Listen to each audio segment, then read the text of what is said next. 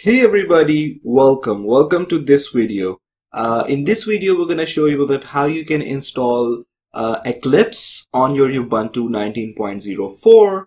And uh, the idea is that you have to have JDK installed in your system in order to work with Java.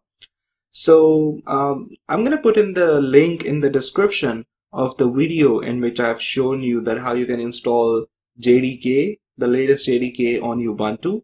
So go ahead, watch that video and then you can come back and continue watching this video. Okay, so uh, if you don't have JDK Java installed in your system, then probably the program, the first program that I would write in the Eclipse, that would not work for you. Okay, so if you already have JDK installed, so you can check it like if it is installed or not. So you, you can just write here Java and then you can write here version okay? You hit enter and this is the java version right that we have 11.0.2 so it means uh, java is installed in our system. So if it is not installed it would give you an error or it would give you a command a list of commands that in order to install java use these commands okay?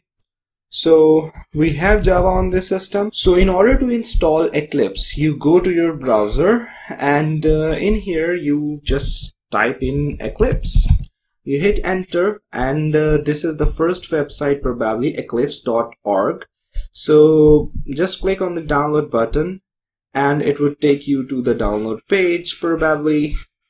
And this is the download 64-bit okay? This is the button that you need to click on okay? So you click on it.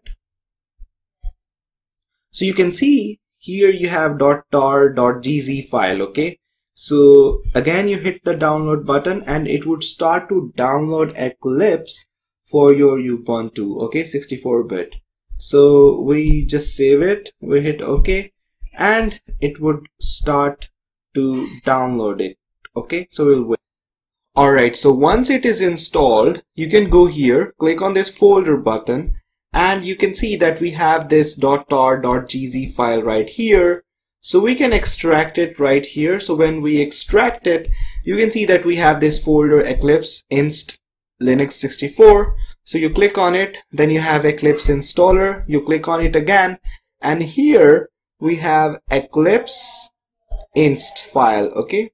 So this is the one uh, which we need to work on. So we right click on it. So this is a binary uh, file. So we right click on it and you can see that we have a run option here. So we run it and it would start to run the Eclipse installer and it would it would basically start to install it. All right.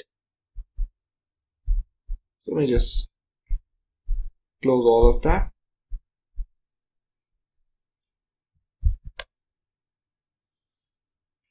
So you will see a window like this, and after that, you'd write, uh, you you'd click here, Eclipse IDE for Java developers, and uh, once you click on it, uh, it would ask you to install uh, it on a specific folder. So I want to keep that path. I don't want to change it. So I'd click on install, and then it would, you know, pop up this agreement. So yes, accept now so it would start to install it. So now the installation process is about to happen and it is happening. So we will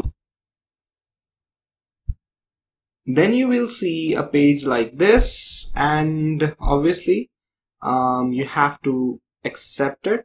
Okay? These all uh, these are the agreements of the software. And then you will wait. So on your way to installation um, you would see something like this. This is the pop-up. So you need to do like select all. I would select all. So after that I would right uh, click on this accepted. And um, then it would start to install. So now you can see that it has completed the installation. So what I can do I can launch it from here. And now it will be launched. Okay so you can see that this is eclipse. It's start it is starting so right here you can actually select the location of your workspace where you where you want to save your java projects. All right so i want to keep it the same. So i would launch it right? So now it would basically launch my eclipse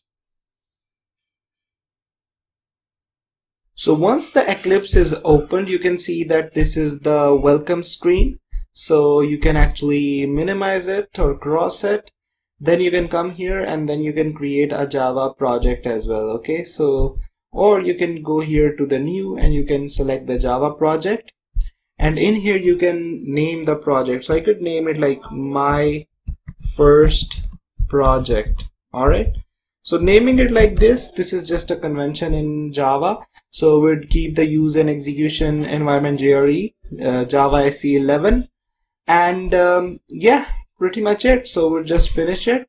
So I would keep everything the same and then it would basically create the project and it is asking for the confirmation. So it's a create project and you can see that we have um, my first my first project okay so now we would click on uh, right click on the source and uh, we go on new. Then we hit on class okay? So we click on class and we come here and we name the class. Let's let's call this class hello world.